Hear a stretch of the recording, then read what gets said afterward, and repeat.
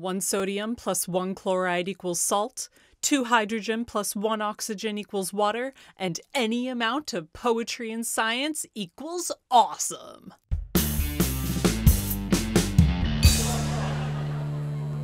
Guys, welcome to this five top tips mini episode of Loud Poets Happy Hour. I am Dr. Katie Ailes and I am the host of Happy Hour. This is our show in which we take on poetry writing challenges. We offer you guys some guidance on how to complete them. We write them ourselves and we chat about all of it with you. Our current challenge is to write poetry about scientific concepts and discoveries, and guys, I am absolutely loving this challenge. I think so often we think about poetry and science like two opposite sides of a coin, and this challenge allows us to think about all of the ways that they intersect and inform each other. So, in this five top tips video, I'm going to give you examples, ideas, and advice for writing poetry informed by science. And as always, everything that I mention will be linked in the video description below.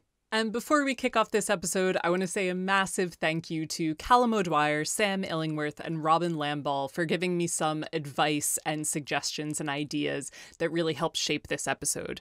All three of those guys are both scientists and poets.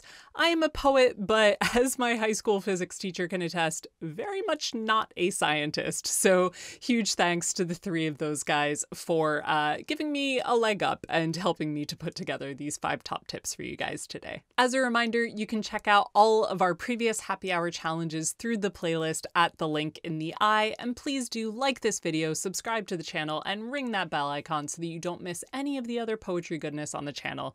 But now let's get to our challenge. Let's get to these tips and let's start here. First off, science is a broad, broad field, as is poetry. When we talk about poetry about science, what exactly do we mean? So, poetry can engage with science and vice versa in a number of different ways. First, you could write a poem entirely about a single scientific concept, doing a deep dive into that one fact or idea. An example of this on our YouTube channel is Doug Garry's gorgeous poem, The Salt Marsh Speaks to the Scientist, which really evocatively imagines what a salt marsh would say to the scientist studying it. This poem emerged from our collaboration with the Experimental Words Project back in 2017, which I'm going to talk about a little bit more later. Here's a clip from the poem. There's a push and a pull to things. You see that when you grow with the tides. There is life among the flat, hidden depths, kingdoms of crabs and shrimp, they scuttle their way through my channels. The beautiful video for this poem was shot and edited by Perry Johnson, and you can watch the whole thing linked in the eye or linked in the description below. Doug's entire poem is focused on salt marshes and their ecology, particularly in this changing climate. But that doesn't mean that it's just a dry recital of scientific fact. The poem is imaginative and deeply illusory. It uses the relationship between the salt marsh and the scientist to hint at other relationships that might be going on while remaining rooted in this one setting, this one scientific concept. The other main approach to poetry about science is poetry which briefly uses scientific language or imagery within a poem that mostly talks about something else. A gorgeous and quite heartwarming example of this is Joshua Bennett's poem Balaenoptera. This love poem uses the scientific fact that a blue whale's heart is roughly the size of a car, and the speaker uses that fact to describe really evocatively how much he loves the addressee of this poem. So, Bennett actually did a live reading at my college about 10 years ago, and I remember so strongly that central metaphor of the blue whale's heart. I couldn't remember the title of the poem, nothing else, but that image has stuck with me for a decade. There are a number of different metaphors that Bennett uses in the poem. It's not only the blue whale heart metaphor. So, this piece is a great example of a way that a poet can use scientific imagery or language. They can dip into it for part of the poem, but the entire poem doesn't need to be devoted to that single scientific concept. Now, you may have already realized there is a lot of overlap between these two categories. You know, poems entirely devoted to a single scientific concept versus poems which dip into scientific language. It's really more of a spectrum. The thing to keep in mind is that there's no one approach to writing poetry about science. You can determine how much of the poem you want to be shaped by any particular scientific fact or concept, how much of the research you put into the poem, whether you skim it or whether you do a deep dive. It is entirely up to you. And now for a strong example of a poem hinging on scientific fact, watch this. So, longtime fans of I Am Loud and Loud Poets will be familiar with the wonderful Callum O'Dwyer. Callum is an engineer and poet and a dear, dear pal who helped to found Loud Poets all the way back in 2014. For each of our Edinburgh Fringe shows, Callum has developed these fantastic special poetry videos. And here I want to share one of the films that he created for our 2018 Fringe show, The Fantastical Game Show Spectacular. In this poem, Callum takes on the persona of a fictional news presenter who is overwhelmed by despair at all of the horrific bad news that he has to present. The piece begins by focusing on this political drama and all of the issues in the news right now, but roughly halfway through, it presents a scientific metaphor. Here's a clip.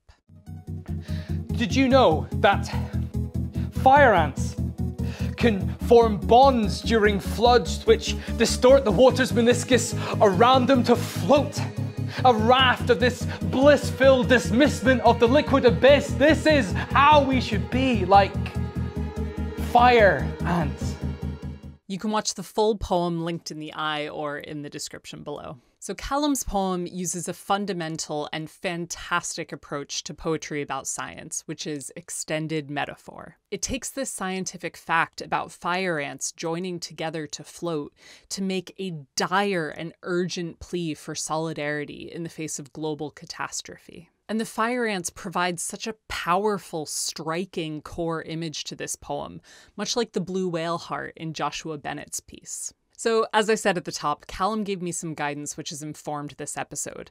And one of the things that he said was that the best science poetry illuminates not only the scientific concept, but also a deeper truth in the poem. I think that's true of this poem.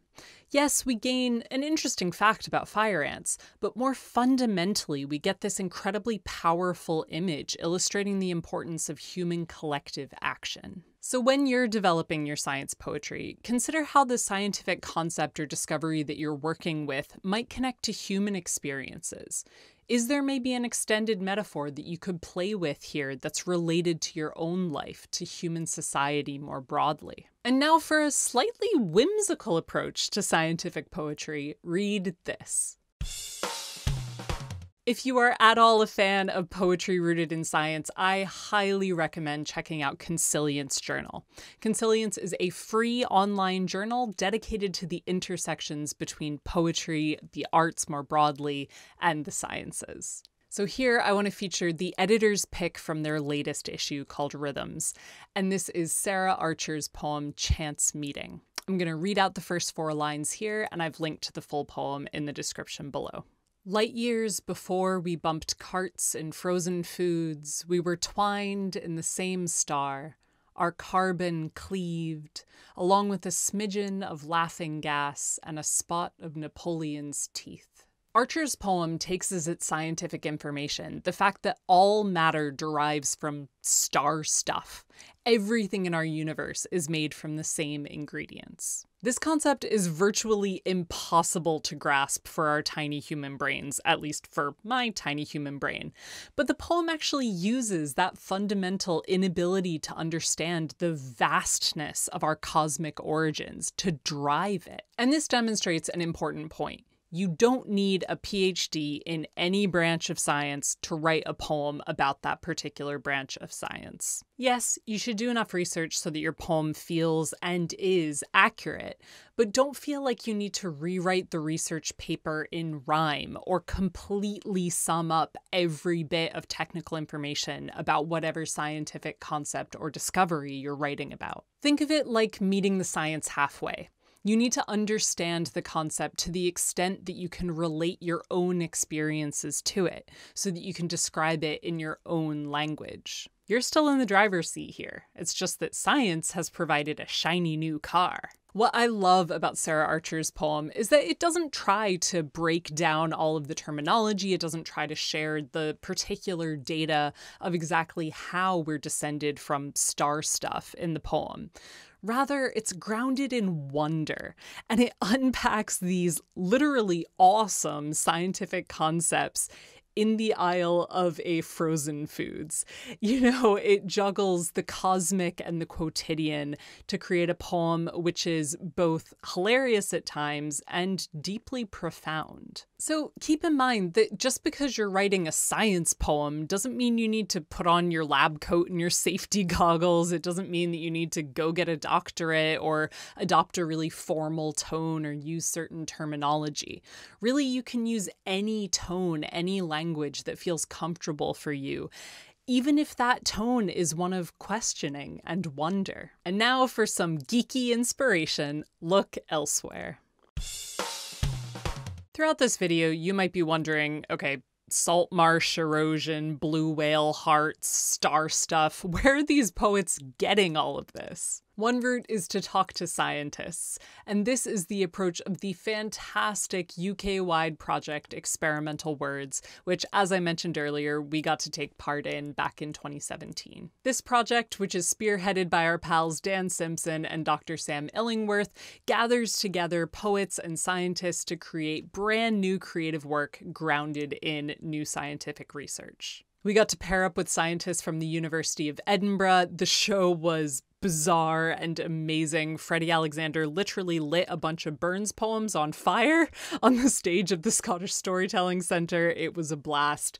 And you guys can actually see that full show if you sign up to our Patreon for the on demand tier, which is a fiver a month. I've put the link to the Patreon in the video description below. So, talking to a scientist about their research is a great way to go.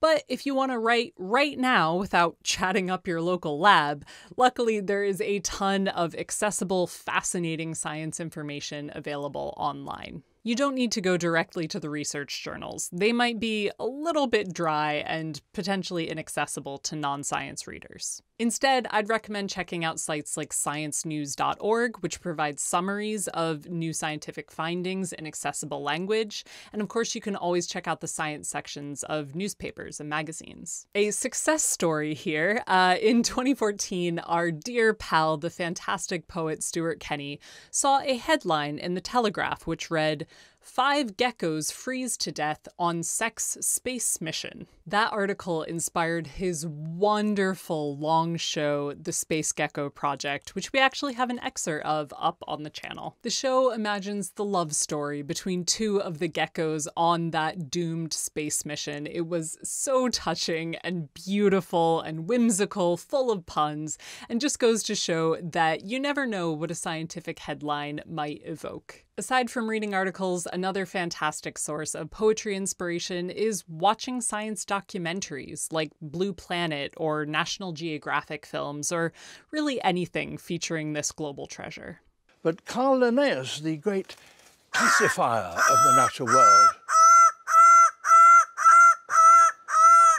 when he came to allocate a scientific name to this bird, called it woohoo. So, documentaries are great, first of all, because they contain a lot of information, which might be the starting off point for your scientific poem, but also because they're such great resources for thinking about how we communicate complex scientific data to a broad public. Often, in order to convey information about science, documentaries will use similes and metaphors and other tools for comparison. For instance, antibodies engaged with viruses are often described as soldiers combating invading enemy forces. Or to help us conceptualize how far away space is, a science documentary might tell us that if you were to get in a car and drive at 60 miles per hour straight up, it would actually only take you an hour to get to space. So, documentaries and other tools for science communication actually use the tools of poetry, comparison, metaphor, simile, in order to convey to a broad public information which might otherwise be hard to grasp. So, when you're on the lookout for inspiration for a new science inspired poem, check out documentaries and other sources of science news and pay attention not only to the raw facts that they're sharing, but how they're sharing them, because there might be some art in that as well. Finally, keep in mind these intersections between science and art and other fields, and remember as I hope the examples throughout this video have demonstrated so far, poetry engaging with scientific concepts isn't limited to just commenting on science. The final poem I'm going to leave you guys with today takes still a different approach to poetry about science to the other ones that I've mentioned, and this is Wendy Cope's popular, wonderful poem, If I Don't Know. Here's the first section, entitled He Tells Her. He tells her that the earth is flat he knows the facts, and that is that. In altercations fierce and long, she tries her best to prove him wrong, but he has learned to argue well. He calls her arguments unsound and often asks her not to yell. She cannot win. He stands his ground. The planet goes on being round. As this poem simply and perfectly demonstrates, poetry rooted in scientific fact doesn't need to just be spouting off statistics and terminology. It can instead be a vehicle for discussing other societal matters. Cope's poem is staged as this failed communication between a flat earther and a woman who accepts the reality that the earth is round, and in and of itself, it highlights the need for better scientific education and communication. But the themes within within Cope's poem go beyond that specific scientific fact that the Earth is round to comment on broader societal issues like sexism, gaslighting, and our society's inability to communicate on fundamental scientific truths. So, when you're writing your scientific poetry, remember that whatever concept or discovery you've chosen is just the starting point. Where you go from there is up to you. That is all of my guidance on writing poetry about science. Thank you guys so much for watching, and I really hope that you got some useful advice from today's episode. And stay tuned, guys, we're doing something a little bit different. We have a surprise for you for next week's check in, an extra special guest, so definitely do not miss that episode. Then on Sunday, July 18th, we will be releasing the full happy hour episode featuring our brand new science poetry. Remember that to support our work and to submit our own challenges for us to write, you can sign up to our Patreon for as little as a pound a month. And if you sign up for a fiver a month, you can join our on demand tier and you can watch our full experimental words show. Please do like this video if you enjoyed it and subscribe to the channel for more poetry goodness. Your support really does make a huge difference. Thank you so much for watching, guys, and happy writing.